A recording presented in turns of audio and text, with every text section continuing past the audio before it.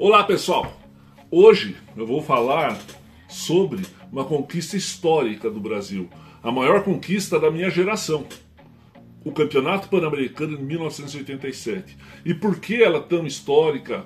Por que, que ela é tão importante no cenário do basquete mundial? Porque foi a primeira vez que a equipe americana perdeu em casa e foi derrotada pela gente, pelo Brasil. Né? Eu tenho algumas recordações aqui, né? a camisa né, do Pan-Americano, camisa número 8. Tem a medalha para vocês darem uma olhadinha aqui do Pan, tá? E a gente tem um anel aqui comemorativo que o Oscar deu para cada jogador, um anel personalizado com meu número, com meu nome, muito legal.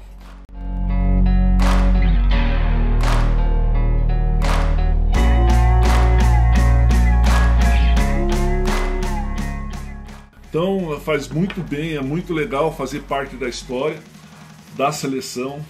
Né? É muito bom defender o Brasil numa competição.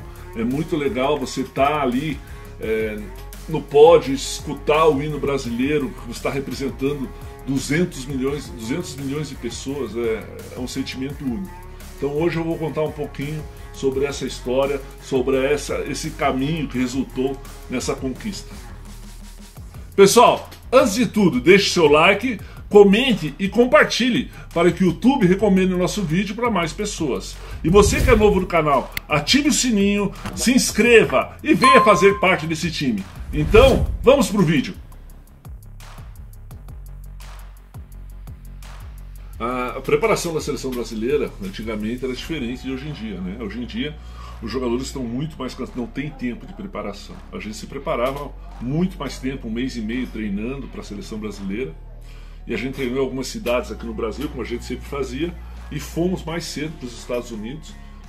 Fomos para Houston, né? Ficamos alojados na Universidade de Houston, a universidade que eu jogava, na verdade. Então, a proximidade com os técnicos, com o pessoal de Houston, foi um facilitador para a gente ir para Houston. Né? Então, a gente treinou em Houston durante acho duas semanas e fizemos alguns jogos lá contra um time semi-profissional, que o time do, era Coors Light, né, o nome da cerveja na verdade. Fizemos alguns jogos preparatórios para eles antes de ir para Indianápolis e para é, chegar nos jogos, nos jogos pan-americanos. As minhas expectativas para o PAN iam de encontro às expectativas da equipe brasileira. A gente estava indo para o PAN para conseguir a medalha de prata, chegar à final, disputar a medalha, a medalha, de ouro, mas sair com a medalha de prata. Por quê? Porque os Estados Unidos está jogando em casa e era um time até então imbatível. E isso todo mundo pensava, os técnicos americanos, né, meus técnicos de Houston pensavam isso, meus amigos de Houston falavam isso, falavam que a gente estava indo lá para ganhar a medalha de prata. Por quê? Porque os Estados Unidos eram nunca havia perdido em casa na história. Então era uma coisa meio impossível de acontecer. Eu lembro do primeiro tempo como se fosse hoje, né? É, começamos perdendo, né? Na verdade, a gente indo lá para não tomar uma ensacada na final, né? Para gente fazer um jogo equilibrado. E o primeiro tempo foi muito difícil, né? Foi muito complicado. Eles chegaram a abrir 18 pontos mas acabou apenas apenas 14 pontos. E aí a gente acabou o tempo, fomos pro vestiário, é, todo mundo de cabeça baixa, né, parecia assim, é, o Oscar até falou, né, parecia boi indo pro batedouro. Né, uma coisa meio esquisita. Bom, intervalo, chegamos no vestiário, né, todo mundo de cabeça baixa, é, não tinha muito o que falar, o que fazer, né. Então a gente escutou algum barulho no corredor na frente do, da nossa porta do vestiário, abrimos a porta, o que aconteceu? O pessoal estava passando já com champanhe, camiseta, boné, telefone vermelho para ligar o presidente, porque eles já achavam que eram campeões.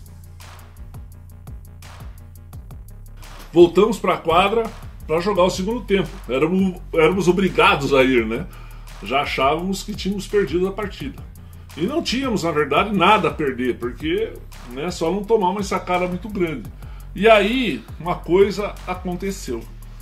Né, os jogadores americanos, é, senhores de si, se achando os melhores do mundo, começaram a ser meio né, se achando demais. E aí o Oscar, Marcel, Cadum, que eram os mais experientes do time, começaram a provocar os americanos. Ah, se você é bom mesmo, remessa de três aí. E dava espaço para os caras arremessar. Só que o jogo deles não era esse, o jogo deles era lá dentro. Era o jogo antigo, bola pro pivô, primeiro bola segurança. E aí eles começaram a arremessar de três e a bola começou a não cair. E aí entrou o nosso jogo. Rebote, contra-ataque, arremesso de três. Que era o que a gente fazia bem. A nossa estratégia começou a dar certo. Começamos a pegar os rebotes, sair em contra-ataque, arremesso de três.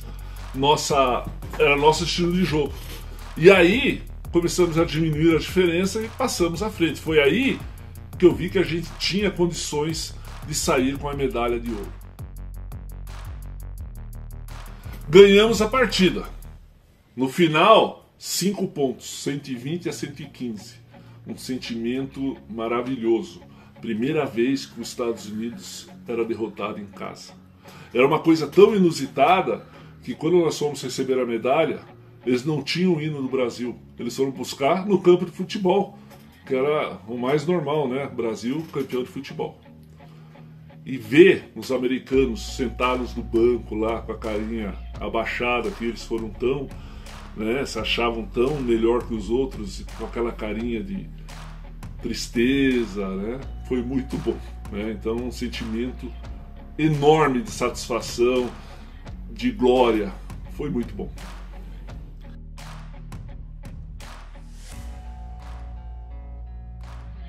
Acabou o campeonato, campeão pan-americano, uma coisa inusitada, né? uma vitória que mudou os rumos do basquete mundial. A partir daí que começaram a pensar nos jogadores da NBA participando dos campeonatos da FIBA. O pessoal voltou para o Brasil, foi ver o presidente, coisa assim, e eu fiquei nos Estados Unidos, porque eu tinha que estudar, né? Tava jogando em Houston. E aí uma coisa ninguém acreditava, né? Eu tive que andar com esta medalha aqui por muito tempo no campus, mostrando para todo mundo que todo mundo queria ver a medalha de ouro do PAN.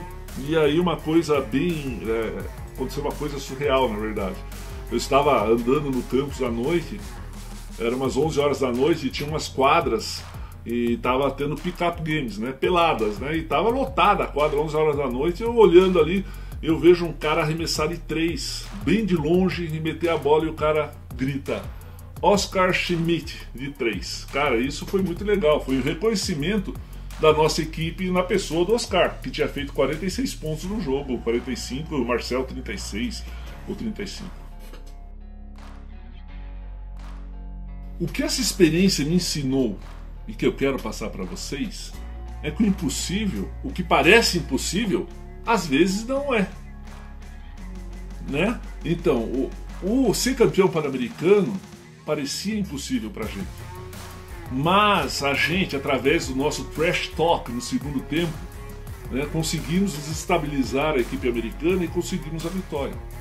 Então, você que está passando por uma situação é, difícil, que está com dificuldade de passar, às vezes muda a estratégia. Faça outra coisa, tenha um olhar novo, uma visão nova, que você pode superar seus desafios.